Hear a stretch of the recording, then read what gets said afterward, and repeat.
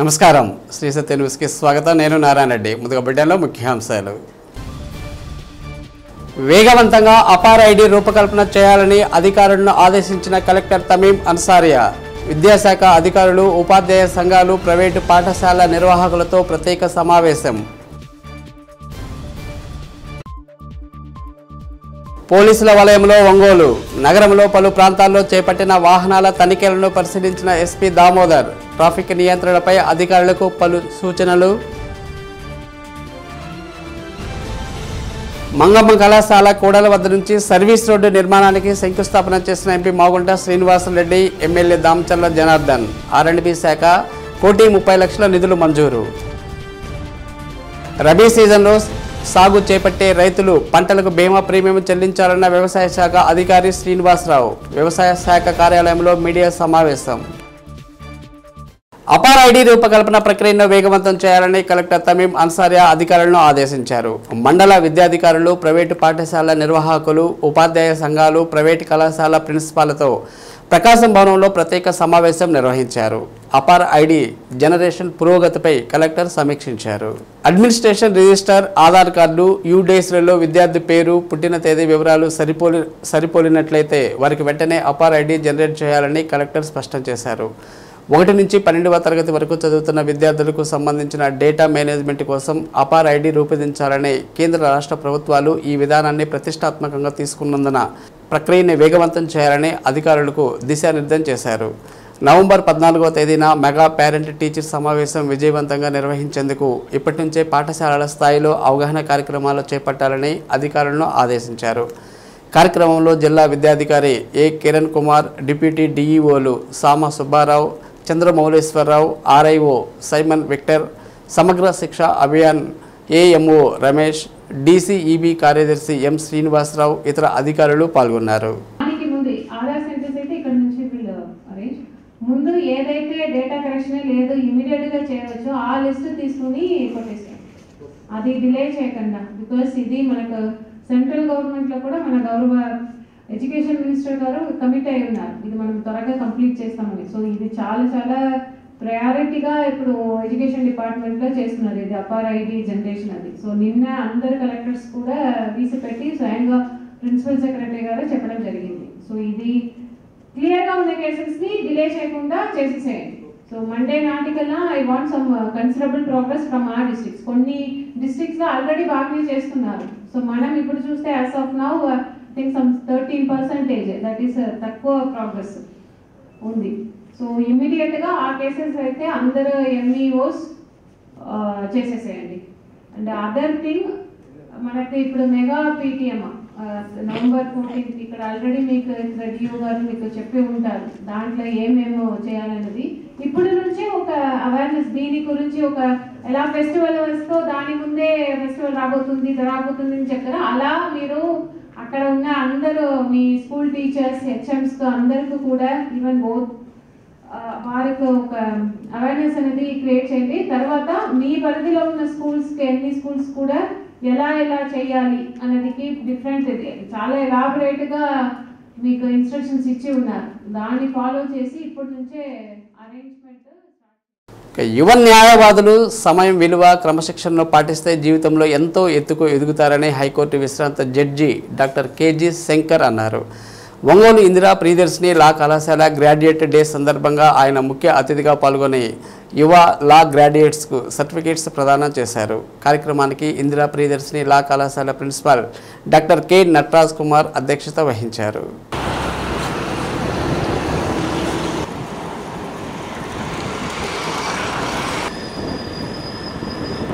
Graduate పూర్తి చేసుకున్న యువ న్యాయవాదులకు ఆయన పలు సూచనలు చేశారు. వృత్తి దైవంతో సమానమని ఎంతో మంది న్యాయవాది వృత్తికి వన్నె తెచ్చిన వారున్నారని అలాంటి వారి జీవన శైలిని వారు కేసులు వాదించే విధానాలను ఆదర్శంగా తీసుకుని యువ న్యాయవాదులు ముందుకు సాగాలన్నారు. దాదాపు నూట యాభై మందికి పైగా విద్యార్థులు సర్టిఫికేట్స్ అందుకున్నారు. కార్యక్రమంలో ఇందిరా ప్రియదర్శిని లా కళాశాల ప్రె- president doctor K. Narasimha Rao faculty విశ్రాంత ఏఎస్పీ సుంకర సాయిబాబా తదితరులు పాల్గొన్నారు.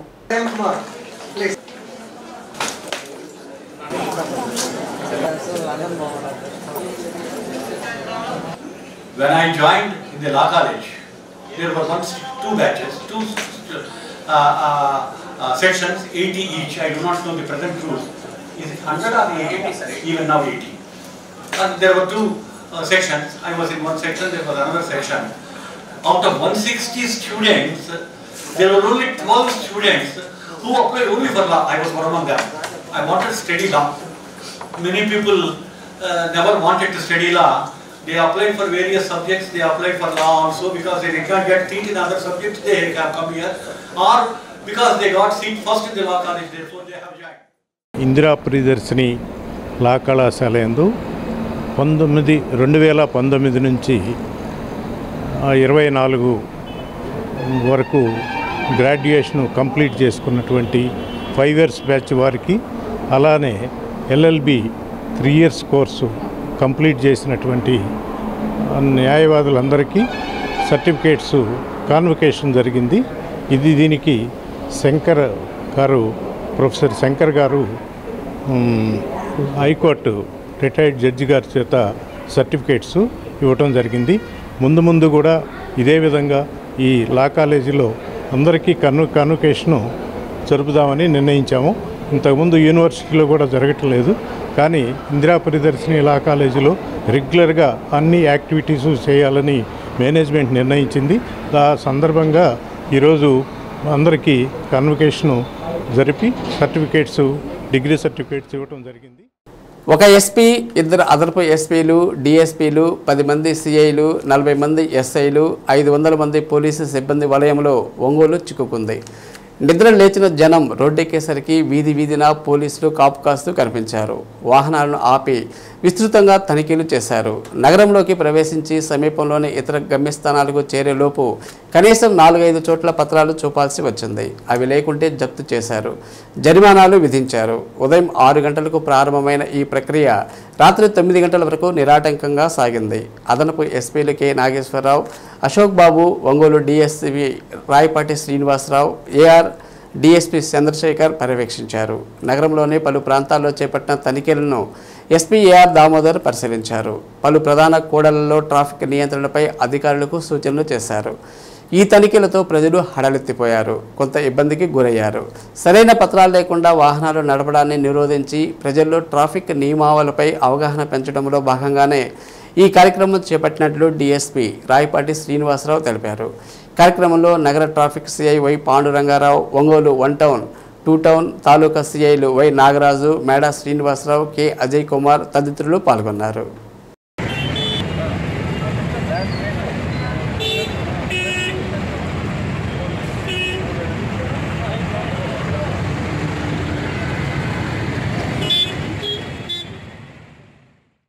మీ అందరికీ తెలుసు motor vehicle motor vehicle rules violations చేసేటటువంటి టైప్ ఆఫ్ వెహికల్స్లో మనకు మెయిన్గా మోటార్ సైకిల్స్ కూడా ఎక్కువ కనిపిస్తూ ఉంటుంది. అది ఒక కారణం. ఈరోజు మొత్తం ఒంగోలు టౌన్లో సిక్స్టీ పాయింట్స్లో సిక్స్టీ పాయింట్స్లో ఎస్పీ గారి ఇన్స్ట్రక్షన్స్ మేరకు వెహికల్ చెక్కింగ్ అంటే ఎక్స్క్లూజివ్లీ మోటార్ సైకిల్స్.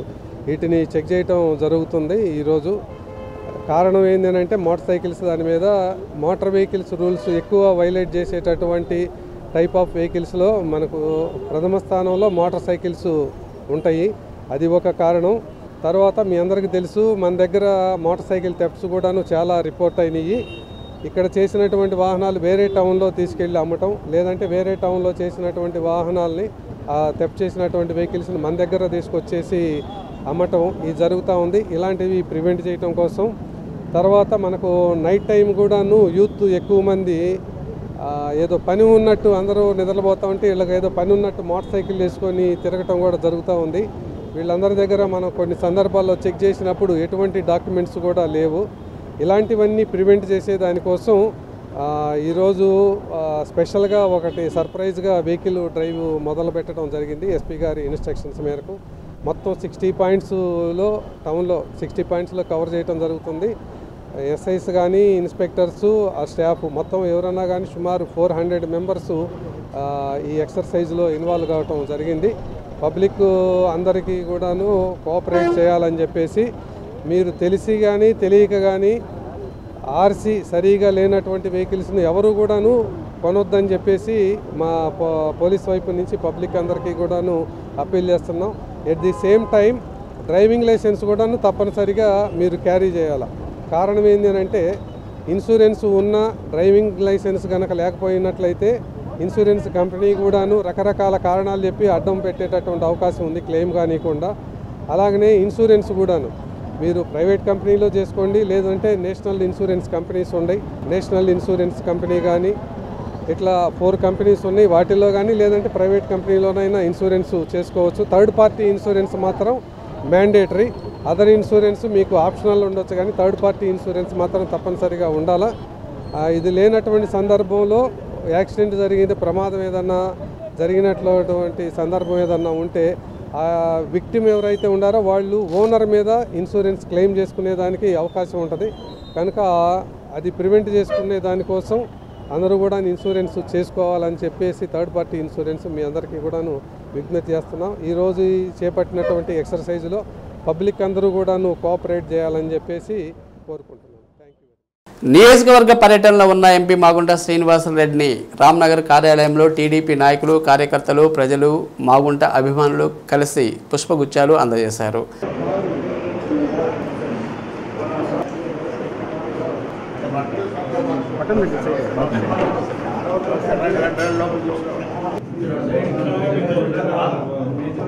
ప్రజలు వారి వారి సమస్యలతో కూడిన వినతి పత్రాలు అందజేశారు. సమస్యలు పరిష్కరించాలని సిబ్బందిని ఆదేశించారు. మాగుంటను ఎన్జీ రంగా కిసాన్ సంస్థ ప్రతినిధులు ఆళ్ళ వెంకటేశ్వరరావు చుంచు శేషయ్యలు కలిసి వినతి పత్రం అందజేశారు. జిల్లా బీసీ కార్పొరేషన్ ఈడీగా బాధ్యతలు చేపట్టిన ఎన్ వెంకటేశ్వరరావు ఎంపీ మాగుంట శ్రీనివాసరెడ్డిని మర్యాదపూర్వకంగా కలిశారు.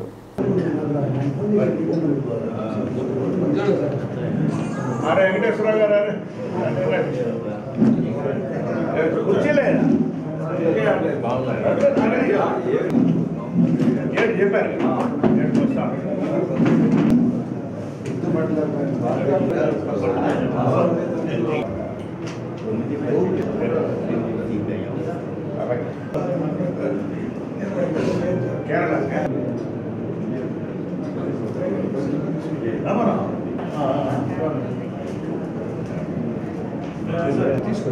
నేను ఒంగోలులో ఉన్నారా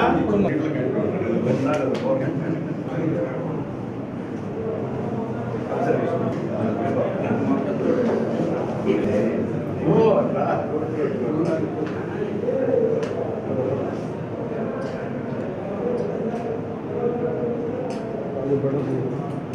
వెరీ గుడ్ అదేనా చేరిపోయారా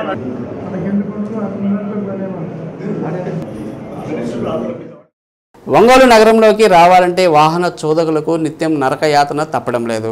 మంగమ్మ కళాశాల కూడల నుంచి కర్నూలు రోడ్డు వరకు రహదారి అధ్వానంగా మారింది. వైసీపీ ప్రభుత్వ హయాంలో భూగర్భ విద్యుత్ తీగల ఏర్పాటు కోసం ఈ మార్గం అంతటా గోతులు తవ్వారు. అనంతరం పైపైన మట్టి కప్పి వదిలేశారు. ఇటుగా వచ్చే వాహనాలు చక్రాలు కూరుకుపోతున్నాయి. మంగమ్మ కళాశాల కూడల నుంచి కర్నూలు రోడ్డు ఫ్లైఓవర్ వరకు నూతనంగా సర్వీస్ రోడ్డు నిర్మాణానికి ఆర్ఎండ్పి శాఖ కోటి ముప్పై లక్షల నిధులు మంజూరు చేసింది. ఈ తారు రోడ్డు నిర్మాణ పనులకు భూమి పూజ చేశారు.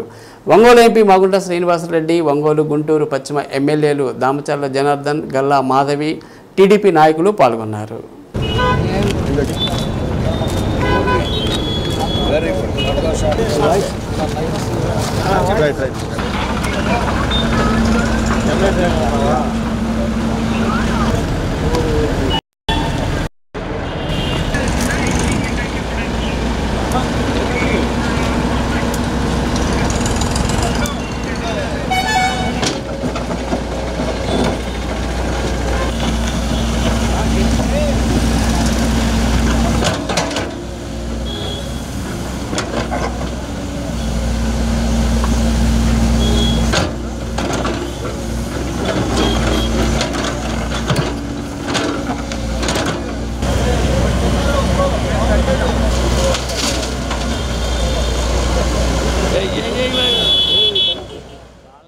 ఒంగోలు మహిళా శిశు సంక్షేమ శాఖ ఆధ్వర్యంలో ఆశ్రమం పొందుతున్న రామకోటమ్మ అనే ఏడు సంవత్సరాల బాలికను చీరాల ప్రాంతానికి చెందిన సుజిని అనే మహిళకు తాత్కాలిక ప్రాతిపదికన కలెక్టర్ తమీం అన్సారియా దత్తత ఇచ్చారు.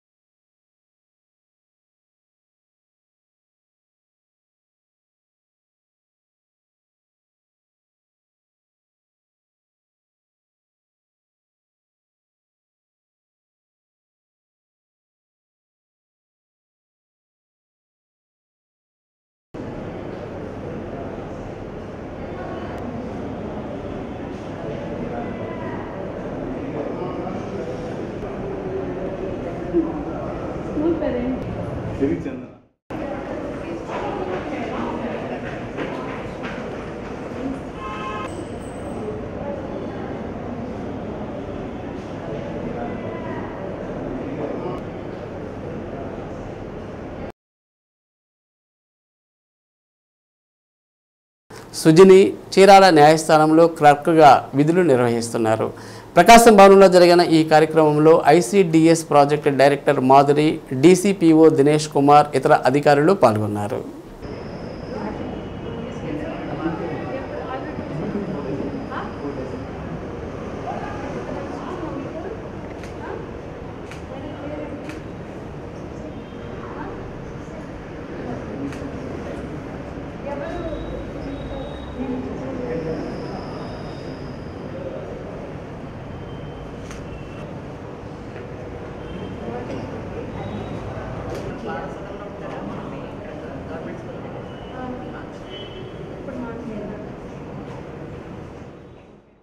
ఈ ఏడాది రబీ సీజన్లో సాగు చేపట్టే పంటలకు పంటల బీమా ప్రీమియం చెల్లించి విపత్తులు ప్రకృతి వైపరీత్యాలు సంభవించినప్పుడు పరిహారం పొందేలా ప్రయోజనం పొందాలని జిల్లా వ్యవసాయ శాఖ అధికారి శ్రీనివాసరావు తెలిపారు. కలెక్టరేట్లోని జిల్లా వ్యవసాయ శాఖ కార్యాలయంలో మీడియాతో మాట్లాడారు.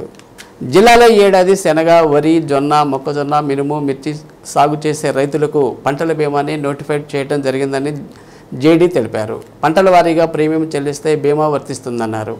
బ్యాంకుల్లో రుణాలు తీసుకునే రైతులు పంటల వారీగా ప్రీమియం చెల్లించాల్సి ఉంటుందన్నారు.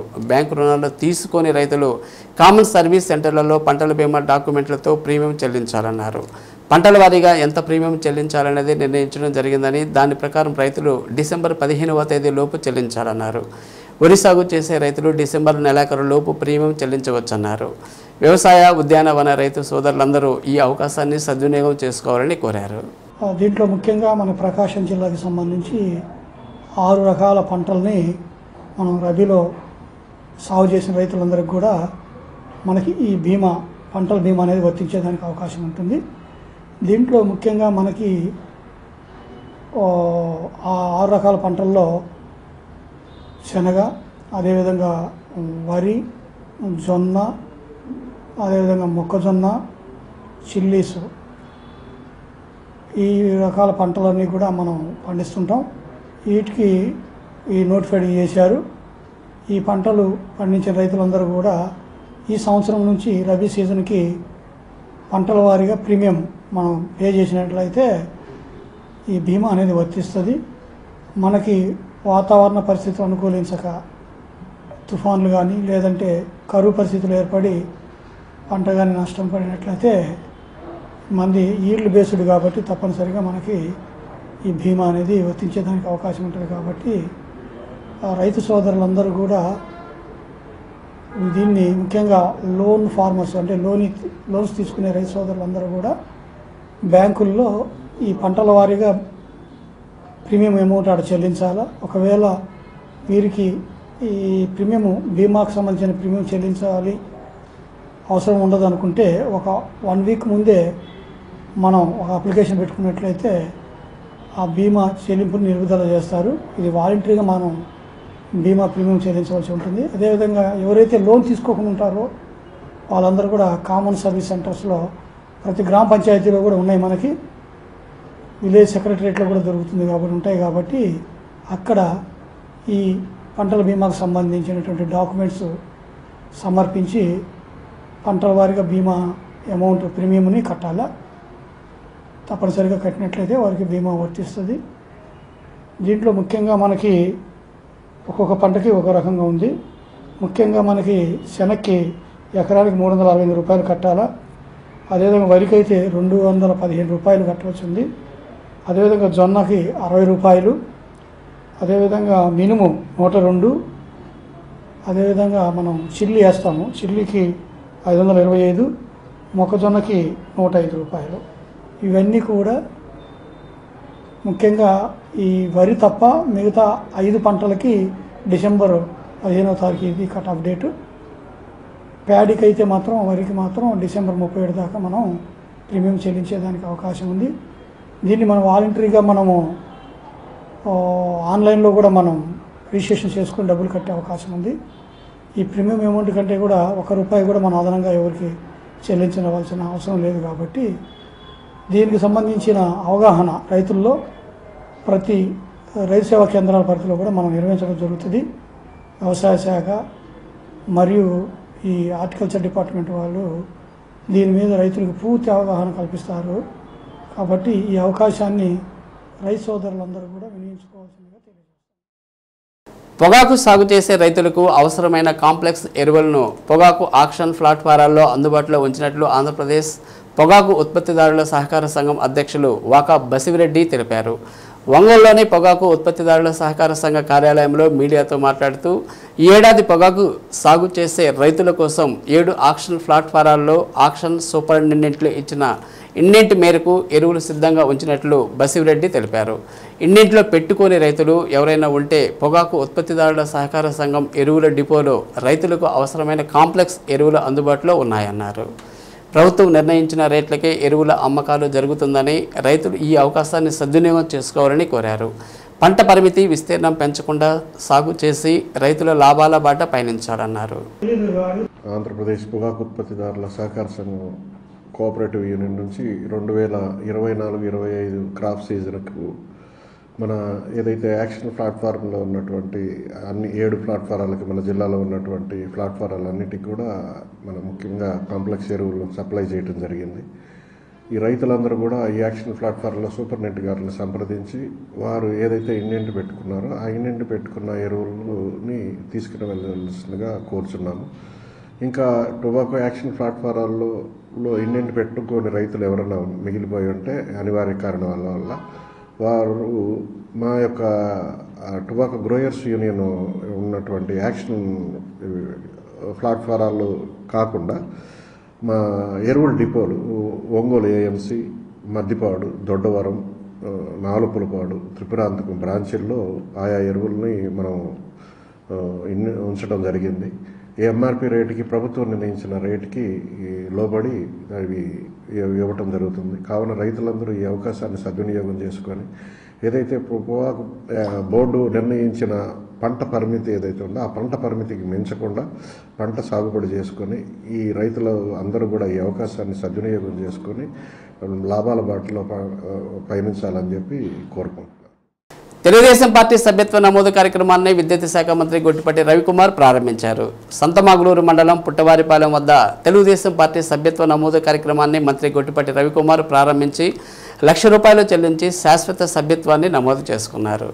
ప్రతి కుటుంబంలో వంద రూపాయల సభ్యత్వ నమోదు చేసుకోవాలని ప్రమాద బీమాను రెండు లక్షల నుండి ఐదు లక్షలకు పెంచడంతో పాటు వారి కుటుంబానికి వైద్య విద్యా సహాయాలను కూడా అందించడం జరుగుతుందని మంత్రి తెలిపారు. పార్టీ శాశ్వత సభ్యత్వం కింద లక్ష రూపాయలతో శాశ్వత సభ్యుడితో పాటు మరిన్ని లాభాలను తెలుగుదేశం పార్టీ వారికి అందిస్తుందని తెలిపారు. కార్యక్రమంలో అద్దంకి నియోజకవర్గ తెలుగుదేశం పార్టీ నాయకులు కార్యకర్తలు పాల్గొన్నారు.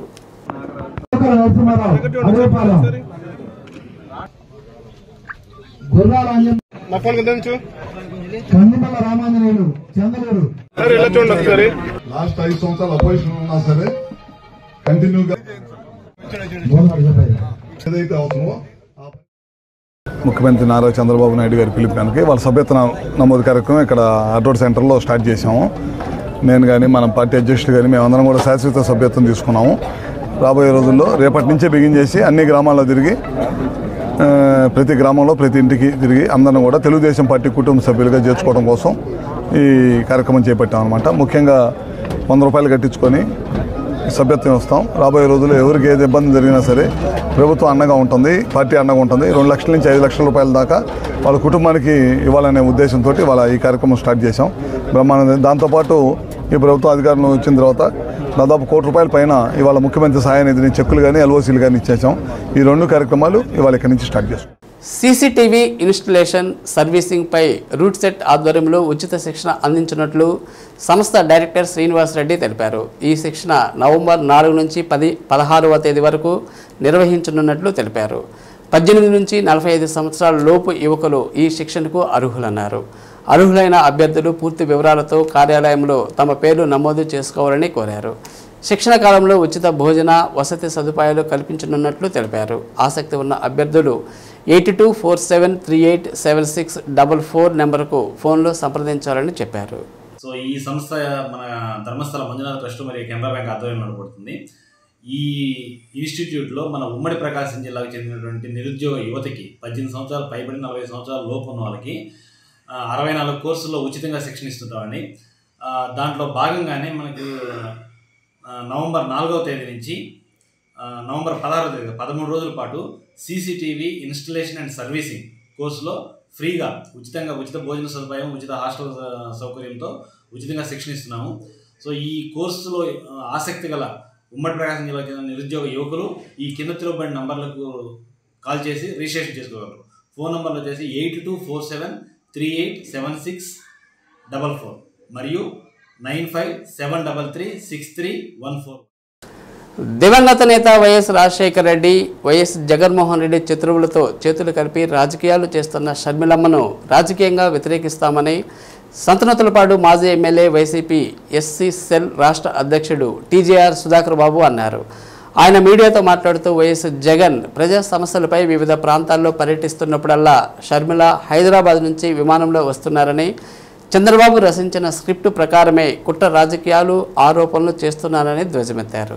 మీ విమానం టికెట్ కూడా చంద్రబాబే తెలంగాణ సీఎం రేవంత్ రెడ్డి ద్వారా పంపిస్తున్నారు. ప్రతి నెల రేవంత్ రెడ్డి ద్వారానే మీకు డబ్బులు అందుతున్నాయి. జగన్ వ్యతిరేక కూటమితో జట్టు కట్టిన నీ చుట్టూ దిక్కుమాలిన రాజకీయాలు నడుస్తున్నాయి. చంద్రబాబును నమ్ముకొని రాజకీయాలు చేస్తున్నావు. నిజానికి టీడీపీ వ్యవస్థాపకుడు ఎన్టీఆర్ కుమారులు ఇప్పుడు రాజకీయాల్లో ఎక్కడున్నారో చెప్పాలి. సొంత అన్నకు అండగా నిలబడాల్సిన నువ్వు అతని శత్రువులతో చేతులు కలపడం సమంజసం కాదు. చంద్రబాబు ఆయన సొంత తమ్ముడి తమ్ముడినే మాయ చేశాడు. సొంత చెల్లెలకు ఒక ముద్ద విదల్చలేదు. ఎన్టీఆర్ ఆస్తులని లాక్కున్నాడు. ఎన్టీఆర్ ట్రస్ట్ ఆస్తులను బలవంతంగా రాయించుకున్నాడు. రాజకీయ కుటుంబాల్లో విభేదాలు సహజం. చంద్రబాబు పురంధేశ్వరి కొట్టుకోలేదా? తోడరుడు దగ్గుపాటి వెంకటేశ్వరరావుకు చంద్రబాబుకు మధ్య విభేదాలు లేవా? ఎన్టీఆర్ కారు నడిపిన హరికృష్ణ కుమారుడు జూనియర్ ఎన్టీఆర్ కళ్యాణ్ రామ్ టీడీపీలో లేరు. పాలనాపరంగా విఫలం చెందిన చంద్రబాబు ప్రజల దృష్టిని మళ్ళించడానికే మమ్మల్ని పావుగా వాడుతున్నాడు అని వివరించారు. ఇది నీ కుటుంబం అనుకుంటున్నావా? కాదమ్మా ఇది సమాజం. మీరు రాజకీయాలకు అతీతంగా ఆలోచించడం మొదలు పెట్టాలి. మీరు రాజకీయ కుట్రలో అంతర్భాగం అయిపోయారు. డబ్బులు రాజ్యాధికారం డబ్బులు రాజ్యాధికారం డబ్బులు రాజ్యాధికారం కాదమ్మా. ఇది ఒక ఎమోషనల్ మూమెంట్ ఇది భావోద్వేగమైన సందర్భం. చంద్ర చంద్రబాబు నాయుడు ఎదిరించడానికి పుట్టిన ఒక నాయకుడిగా మేము జగన్మోహన్ రెడ్డి గారిని మేము చూస్తున్నాం. జగన్మోహన్ రెడ్డి గారి యొక్క నాయకత్వాన్ని కోరుకుంటున్న వాళ్ళ యొక్క శాతం ఈ రోజున నలభై శాతం. రెండు వేల పంతొమ్మిదిలోనే యాభై ఒక్క శాతం. అంతకుముందు నలభై ఐదు శాతం. రేపు మళ్ళీ వస్తే యాభై ఐదు శాతంకి వస్తామమ్మా. అంటే జగన్మోహన్ రెడ్డి గారి యొక్క రాజకీయ ప్రయాణంలో జగన్మోహన్ రెడ్డి గారు ఒక సామాన్యమైన రాజకీయ స్థాయి నుండి ఈ దేశంలోని అత్యంత ప్రభావశీలిగా వ్యక్తిగత చరిష్మా కలిగిన ఒక మాస్ లీడర్గా ఒక మహానాయకుడిగా ఎదిగిన అన్నయ్యని గుట్టుగా ప్రేమగా అన్నయ్యని ఒప్పించుకొని అన్నయ్య చెంత నుండి అన్నయ్య సహాయకారిగా ఉండి అన్నయ్యతో పాటు కష్ట నష్టాలు అనుభవించుకుంటూ నువ్వు ప్రయాణం చేయాల్సిన సందర్భంలో అన్నయ్యను ఒంటరివాణి చేసి మూడు పార్టీలు జతగడితే ఇండైరెక్ట్గా నీ పార్టీ కూడా జతగలిగితే నాలుగైదు పార్టీలు జతగట్టి ఆయన ఓడించాలని ఈ రోజున విజయం సాధించి వాళ్ళు విర్రవీగుతుంటే నీ కుటుంబాన్ని ఆసరాగా చేసుకుని రాజకీయాల్లో మీ కుటుంబంతో ఉన్న ఈ రోజున సామాన్యమైన కార్యకర్తల యొక్క కళలు పగిలిపోతున్నాయి అమ్మా ఆస్తులు ధ్వంసమవుతున్నాయి అమ్మా ఇళ్ళు తగలబెడుతున్నారమ్మా. ఆ బిల్డింగ్లు కూల్చేస్తున్నారమ్మా. నీకు నొప్పి ఎందుకు కలగట్లేదని అడుగుతున్నాం సిద్ధాంతాన్ని పొలిగిపుచ్చుకున్న సామాన్యమైన కార్యకర్తలకే నా గుండె రగులుతుంటే వైఎస్ఆర్ కడుపును పుట్టిన నువ్వు నువ్వు ఎలా ఓర్చుకోగలుగుతున్నావు అడుగుతున్నావు? ఎన్ని కష్టాలు రానియమ్మా. పదహారు నెలల పాటు జైల్లో పెట్టినా ఒక్క అడుగు కూడా మీ జగన్మోహన్ రెడ్డి మాకు కావాలి. ఆ జగన్మోహన్ రెడ్డి యొక్క నాయకత్వాన్ని మేము బలపరుస్తూనే ఉంటాం. కానీ నువ్వు బలహీనపరచాలని చూస్తున్నావు. నువ్వే తగ్గించాలని చూస్తున్నావు. నువ్వు ఓడించాలని చూస్తున్నావు. ఓడిస్తే నీకేదో జరుగుతుంది అమ్మా. చంద్రబాబు నాయుడు సొంత తమ్ముణ్ణి మాయం చేసేసాడమ్మా. సొంత అక్కలకు ఒక్క రూపాయి చిల్లిగా వేయలేదమ్మా. ఎన్టీఆర్ ఆస్తులని లాక్కున్నారమ్మా. ఎన్టీఆర్ పేరు మీద ఎన్టీఆర్ ట్రస్ట్ భవను లక్ష్మీపార్తి పేరు మీద ఉంటే రాపించుకున్నారమ్మా కొట్టబోయారమ్మా. ఆ చరిత్ర కూడా తీయమ్మా. తెలుగుదేశం పార్టీ విస్తృత స్థాయి సమావేశంలో నాయకులు ఎద్దు శశికాంత్ భూషణ్ జనసేన పార్టీ అధినేతపై అభ్యంతరకరమైన వ్యాఖ్యలు చేయడం సహించబోమని జనసేన జిల్లా పార్టీ అధ్యక్షుడు షేక్ రియాజ్ ఆగ్రహాన్ని వ్యక్తం చేశారు. కూటమిలో ఉన్నామని ఇష్టం వచ్చినట్లు మాట్లాడితే మున్ముందు తీవ్ర పరిణామాలు ఉంటాయని హెచ్చరించారు. వైసీపీ పార్టీ అధికారంలో ఉన్నప్పుడు తెలుగుదేశం పార్టీతో పాటు జనసేన పార్టీ నాయకుల మీద కూడా కేసులు పెట్టారని ఆ బాధలు తాము కూడా అనుభవించామన్నారు. తాజాగా జనసేన పార్టీ అధినేత పవన్ కళ్యాణ్ స్థానిక వైసీపీ నాయకుడిని పార్టీలో చేర్చుకోవడం అనేది తమ పార్టీ అంతర్గత విషయమన్నారు.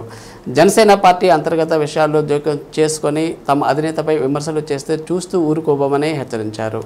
దీంతోపాటు ఒంగోలులో ప్రోటోకాల్ లేకుండా ఎవరిష్టం వచ్చినట్లు వాళ్ళు మీడియా సమావేశాలు పెట్టడాన్ని అధిష్టానం సీరియస్గా తీసుకుంటుందన్నారు. మరొకసారి జనసేన అంతర్గత విషయాలపై విమర్శలు చేస్తే చూస్తూ ఊరుకోబోమన్నారు. తెలుగుదేశం పార్టీ ఒంగోలు అసెంబ్లీ నియోజకవర్గ విస్తృత స్థాయి సమావేశంలో తెలుగుదేశం పార్టీ నాయకుడు ఎద్దు శశిభూషణ్ మాట్లాడుతూ జనసేన పార్టీ అంతర్గత విషయాలు గురించి మాట్లాడాడు. సో పార్టీలో ఎవరిని చేర్చుకోవాలి ఎవరిని చేర్చుకోవద్దనేది అది మా పార్టీ అంతర్గత విషయం. సో గతంలో ఆ నాయకుడు వైసీపీలో ఉన్నప్పుడు మీరు ఎలాగా కేసులు పెట్టించుకొని ఇదయ్యారో మేము కూడా పోరాడాం. కానీ మా నాయకుడు తీసుకున్నటువంటి నిర్ణయానికి మేము కట్టుబడి ఉన్నాం. మేము కూటమిలో ఉన్నామని చెప్పి మీరు మా నాయకుడిని ప్రశ్నిస్తానంటే రాబో రోజు పరిణామాలు వేరుగా ఉంటాయి శశిభూషణ్ గారు. గుర్తుపెట్టుకోవాలి మీరు కూడా. పొత్తు ధర్మం పాటించండి. పొత్తు ధర్మం మేము జనసేన పార్టీ నుంచి పాటిస్తున్నాం. కాబట్టి మొదటిసారిగా మీకు వార్నింగ్ ఇస్తున్నాం. జనసేన పార్టీ అధ్యక్షులు వారిని అనేటప్పుడు స్థాయి మరిచి మాట్లాడటం అది సభ్యత సంస్కారం కాదు అని గుర్తుపెట్టుకోవాలని చెప్పి జనసేన పార్టీ నుంచి ఇంకొకసారి ఇలాగ మాట్లాడితే అధ్యక్షులు వారిని ఊరుకోవని హెచ్చరిస్తున్నాం. అలాగే ఈ మధ్యకాలంలో ప్రోటోకాల్ లేకుండా కొంతమంది ప్రెస్ మీట్లు పెట్టడం ఏదో అయిపోతుంది పదవులు ఏదో ఇచ్చేస్తున్నారని జనసేన పార్టీలో ఎవరికి ఏ పదవులు ఇవ్వాలి ఏ కమ్యూనిటీకి ఇవ్వాలి? ఏ స్థాయిలో ఉంచాలనేది అది జనసేన పార్టీ అధ్యక్షులైనటువంటి పవన్ కళ్యాణ్ గారి నిర్ణయం తప్పితే మీరు నిర్ణయించేటటువంటి నిర్ణయం కాదనేది మీ స్థాయి గుర్తుపెట్టుకోవాలని చెప్పేసి వారికి కూడా ఇంకొకసారి హెచ్చరిస్తున్నాను. దీనదయాల్ శ్రవణ్ ఫౌండేషన్ జిల్లా బాల భవిత కేంద్రం ఆధ్వర్యంలో ఒంగోలు జీజీహెచ్ క్యాజువాలిటీ పైన బాల భవిత కేంద్రంలో వినికిడి లోపం ఉన్న పిల్లలకు పెద్దలకు శ్రవణ పరీక్షలు రెండో రోజు నిర్వహించారు. RBSK program officer doctor Bhagiratha Devi Deen Dayal Sravan foundation founder chairman R Ramanjaneyulu doctor Prabhakar audiologist Ashok Reddy Jakarayya తదితరులు పాల్గొన్నారు. డాక్టర్ భగీరథి మేడం గారికి. ఇంప్లిమెంట్ మళ్ళీ రీచెక్ చేయించుకొని దాన్ని బట్టి మనం హీరింగ్ ఎయిడ్స్ యూస్ చేస్తే బాగుంటుంది.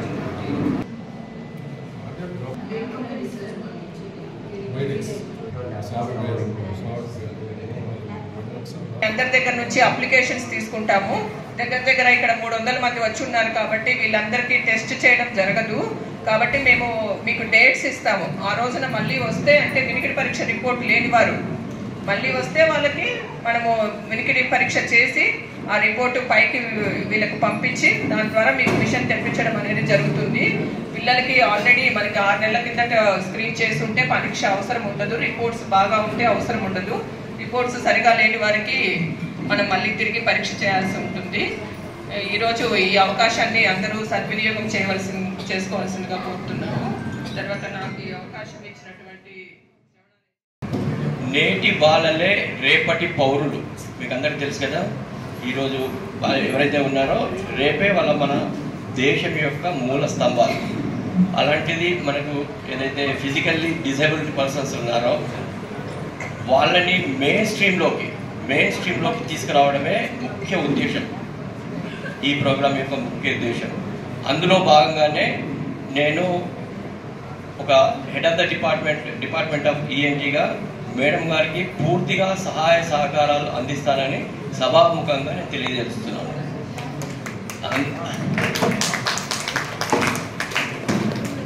అయితే అందులో భాగంగానే మీరు అందరూ ఒకే రోజు వచ్చి ఒక వంద నూట యాభై మంది ఒకేసారి వస్తే మనం చేయడానికి వీలు కాదు కాబట్టి ఒక ప్రోగ్రామ్ యాక్షన్ ప్లాన్ లాగా షెడ్యూల్ పండిట్ దీన్ దయాళ్ ఉపాధ్యాయ గారు ఈయన.